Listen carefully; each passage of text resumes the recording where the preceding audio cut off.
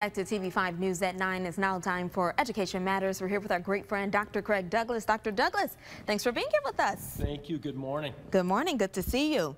So today we are talking about different apprenticeship opportunities for students. So first, let's start off with the simple question of what is an apprenticeship? So an apprenticeship, Sierra, many times it's a registered apprenticeship mm -hmm. where there are national standards.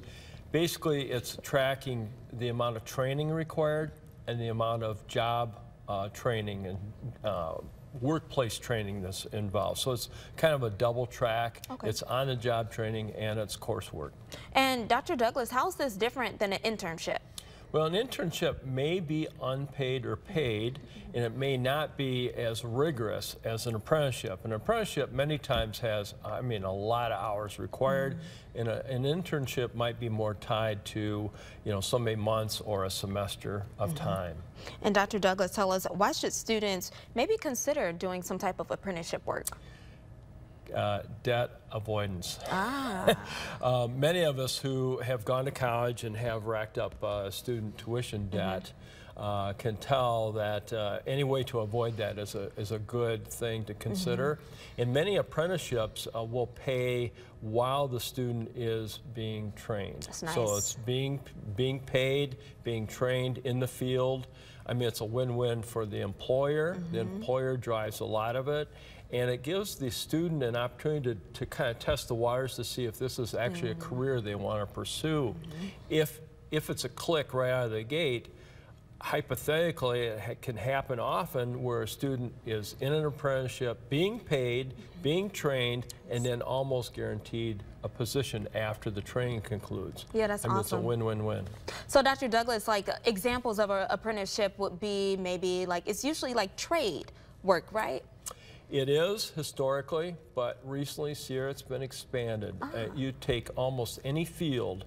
In fact, I would advise anyone thinking about going into college, I would inquire to see if there are internships, paid internships, or apprenticeships tied to it.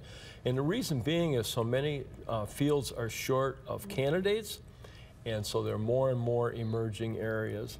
Uh, quick, I'll just uh, give you a, a, a, little bit of a report of a, a, thing I happened to see, and that's at Wurtsmith Air Force Base, the former base in Oscoda. Kalitta Air is uh, working up there, and I had a chance to tour the facility. I think I want to devote an entire segment to it, but in mm -hmm. terms of apprenticeships, they have 170 apprentices there mm -hmm. on the base, the former base, and they're paid $17 an hour to start with plus benefits. Nice. And that, that covers the time they're being trained mm -hmm. along with the time they're working there. Mm-hmm. That's just a, a slice or a snippet of an example of how the whole career uh, field is shifting right now. Mm -hmm. So anyone, look into anything. Uh, main websites are available. Like I went on web and looked at Delta College's website. Mm -hmm very robust information about apprenticeships that they mm -hmm. offer at Delta College, and I would say it's probably generalizable mm -hmm. for other community colleges in other regions. So, Dr. Douglas, the easiest way to find more, learn more about these opportunities, is it just to go on the web and research them? Research the web, talk to the high school guidance counselor because they get information on, on programs like that. Uh, begin that uh, introductory review early. Look at any of the career centers, the Saginaw Career Complex, Bay Arenac Career Center. Look through the various educational contacts with the field. Mm -hmm.